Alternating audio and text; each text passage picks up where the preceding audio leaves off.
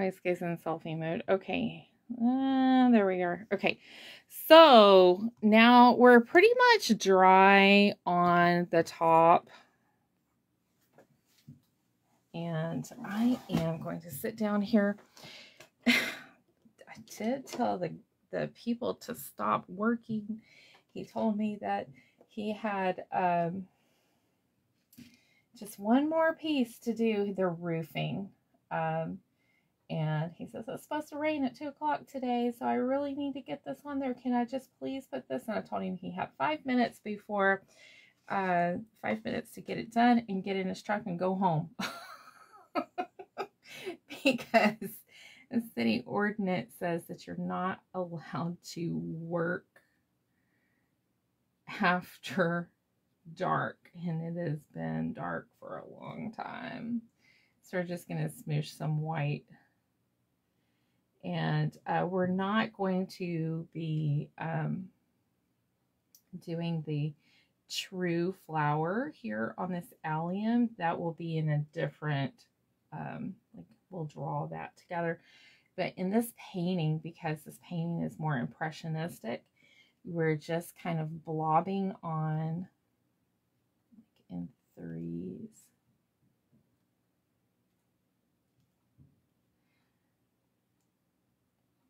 I've never had to tell uh, adults anything in this neighborhood. Kids, I have had to tell them to to like behave, be nice to one another. Like we have um, a drive or next to our driveway, we have a little parking lot for our guests. It's a little parking pad, whatever, because uh, you can't park on the grass here in our town. And so um, next to our driveway, we have a two car two car parking pad that we put in with pea gravel. And the kids, we had a swing out on a tree for the for Ina to swing on, and Ina got you know too big to swing on the, the swing, um, or you know maybe not too big but too old uh, to swing on it, and uh, we took the swing down not too long ago, and the kids were out there like um at the school bus. And playing in the rocks and they were throwing the rocks at everybody from the parking pad because they didn't have the swing to swing on anymore. I was like, sorry, sorry, Mrs. Tamayo. we were bored. We didn't have the swing. Oh my god, that's terrible. that's just so sad. Oh funny.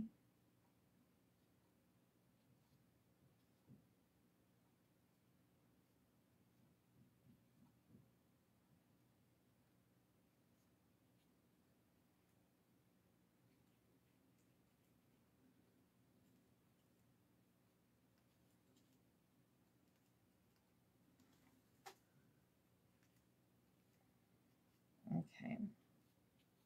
So the globe flower through here, it has, um, you know, some flowers on the edge through here, and and they're going to kind of uh, be a little bit more translucent.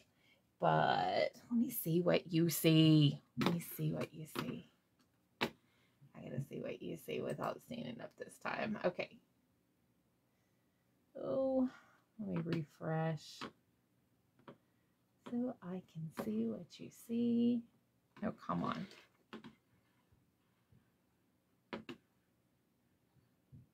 There we go. He's still just a banging.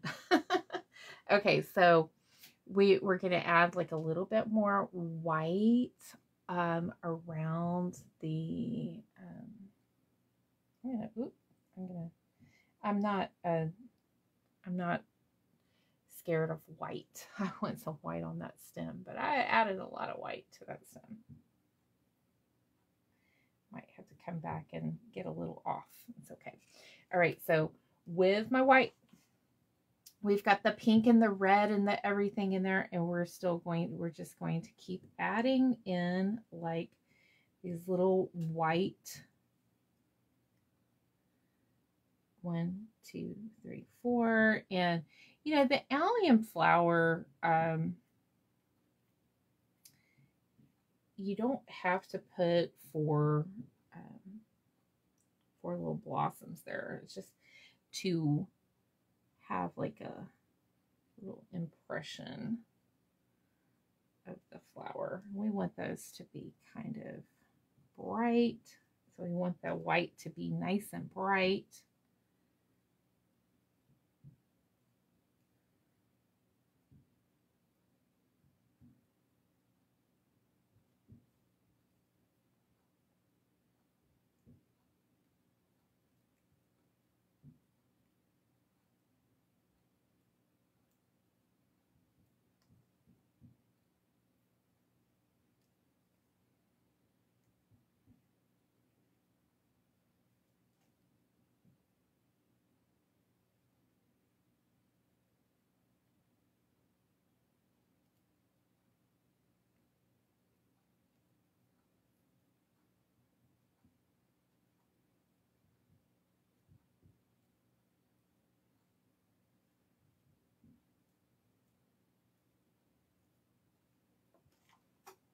All right, let's see what you see. And right in here, I'm going to put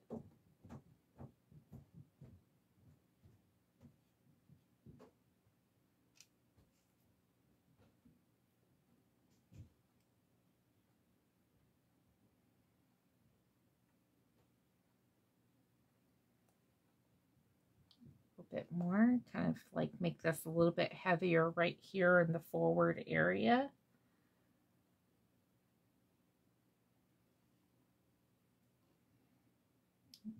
put like some little,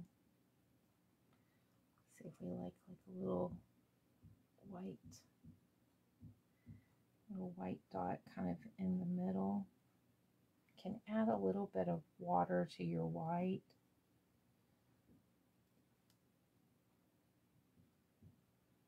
If you want. Let it be a little bit more translucent because if it's more of a translucent, it's going to look like it's maybe in the back of the flower.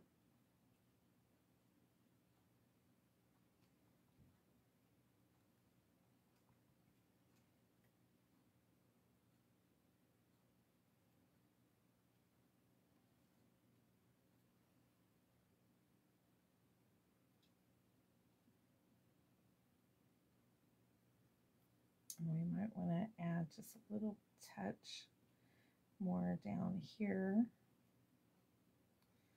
just to kind of fill it out in that area. So we have a nice round globe shape.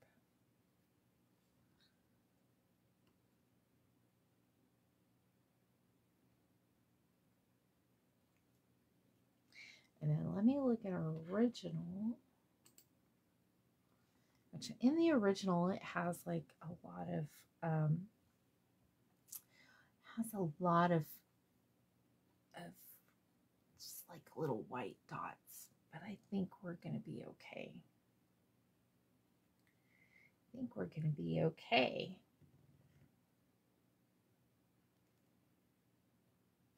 Add bigger, more exciting.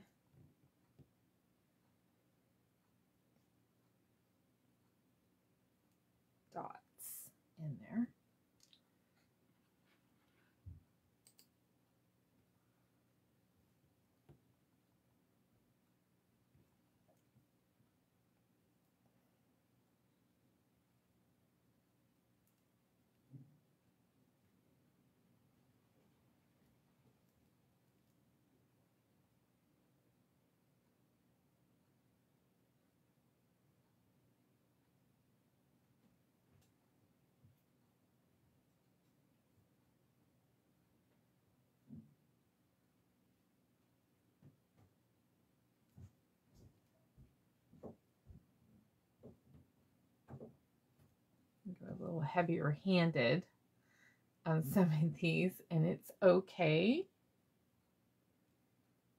Go a little heavier. Now, if you feel like you want to add like a little tint of blue, and take your white and that ocean's green, and you can kind of add in like just a little tint of blue some of that white because we're not doing a super detailed flower. We're just doing like a little impressionistic, kind of like if you squinted your eyes.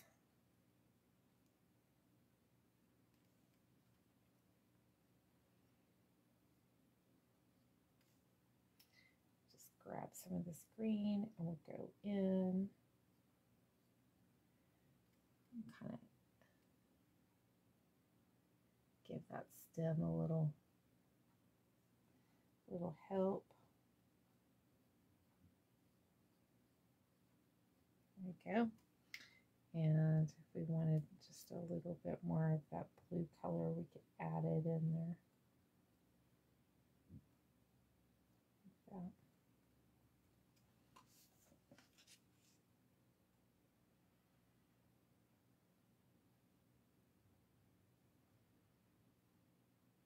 We'll check our original drawing or original painting, which is really crazy.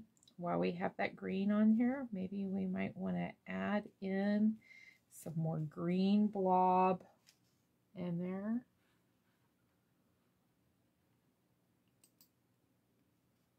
Let's see what that looks like.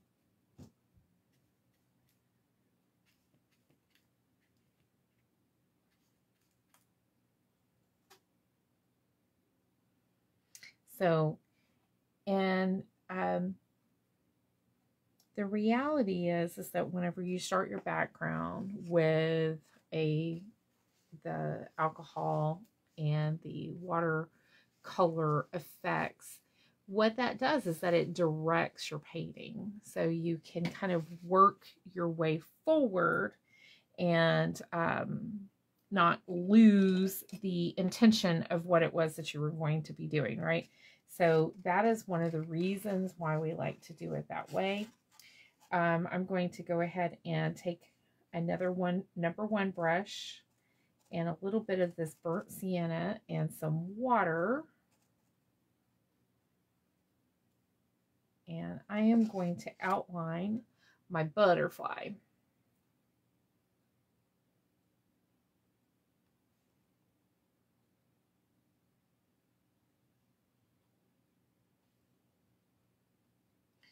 With the burnt sienna.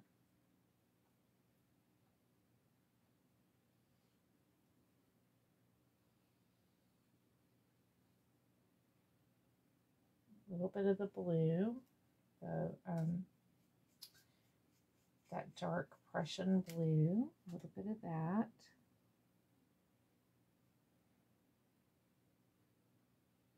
So I had just a little bit of tint happening, like um like a white was happening on top of the the blue and the brown.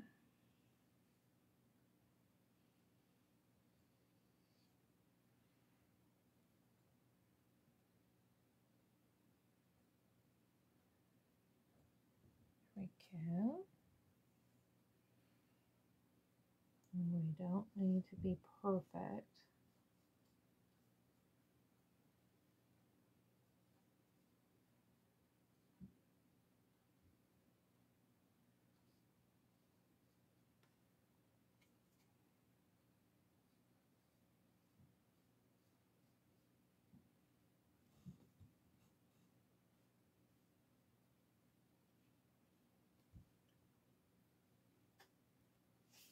And then this just kind of adds like the little finishing touch.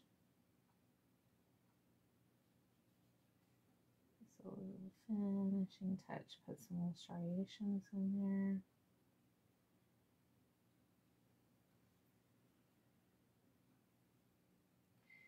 a little wiggle of that blue. Wiggle over here, a little wiggle here. Yeah, like a little bit more there and a little here. And I think that we have a really nice looking flower with a butterfly. Let's see. I think that there's like one little edge over here that if I wanted to straighten it up, that would be what I would want to do. Let's just straighten that up real quick. All right, let's see what that looks like. Oh, yeah. Okay, yeah. Let's add just a little bit of blue, like right in here on top of that brown. Let's see what that looks like.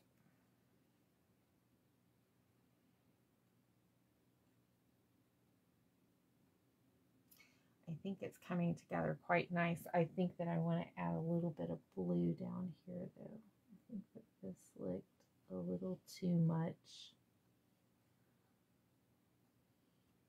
Let's try that. See what that looks like.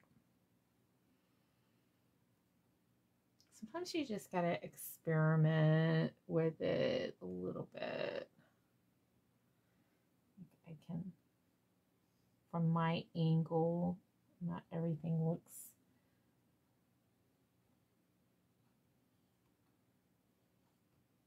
my angle, some things look a little crazy. So let's just see what it looks like to you.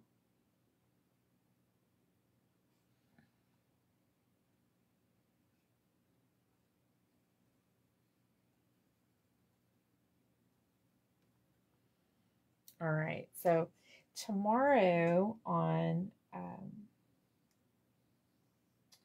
on Painted Soul Creative Journey, which you can catch the replay later if you don't end up watching, you will see me uh, using this particular painting as a photo reference. You'll see me using it um, as a reference for creating mixed media and what you will see me doing over there is exactly what I did today for you. I showed you how to direct your direct your your uh, design using um, a little bit of mixed media techniques. So I used the water soluble pens, which are markers, and um, and then I let them kind of set and and dry, and it kind of had my little blurry vision that I wanted to create. Had my little blurry vision that I wanted to create, and so then I was able to kind of pull all of it forward. Now, if I wanted to, even from here, if I wanted to, I could go back in and I could add like a little bit more detailing, but I like this out of focus look. This is like what I love. I love this little out of focus look. It's my, it's definitely my way. So I'm going to put like a little blob right there because it looked like it needed it right there. Um, the out of focus way is just my way and I like it. It makes me um makes it makes me more happy, but I might just go in and put like a couple of little pink little pink accents kind of here and here and there. Just kind of add like a little bit more pink in it. I think I like the pink.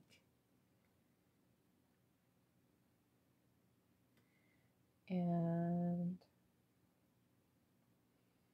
I don't think that that hurts. I don't think that hurts anything to add like a little bit of pink. But you'll see that